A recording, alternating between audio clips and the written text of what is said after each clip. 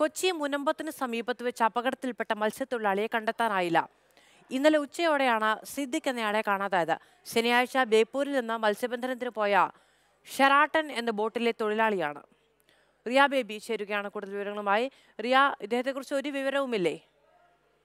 മാധു ഇന്നലെ ഉച്ചയോട് കൂടിയാണ് ഈ അപകടം നടക്കുന്നത്. ഏതാണ്ട് മുനമ്പം ഹാർബറിന് സമീപത്ത് വെച്ചായിരുന്നു രണ്ട് മത്സ്യത്തൊഴിലാളികളെ കാണാതായത്. അതിൽ ഒരാളെ പരിക്കുകളോടുകൂടി അപ്പോൾ തന്നെ മത്സ്യത്തൊഴിലാളികൾ നടത്തിയ രക്ഷാപ്രവർത്തനത്തിനൊടുവിൽ രക്ഷപ്പെടുത്താനായി. പക്ഷേ സിദ്ദിഖ് എന്ന അൻപത്തിയേഴ് വയസ്സുകാരൻ രാമനാട്ടുകര സ്വദേശിയാണ്.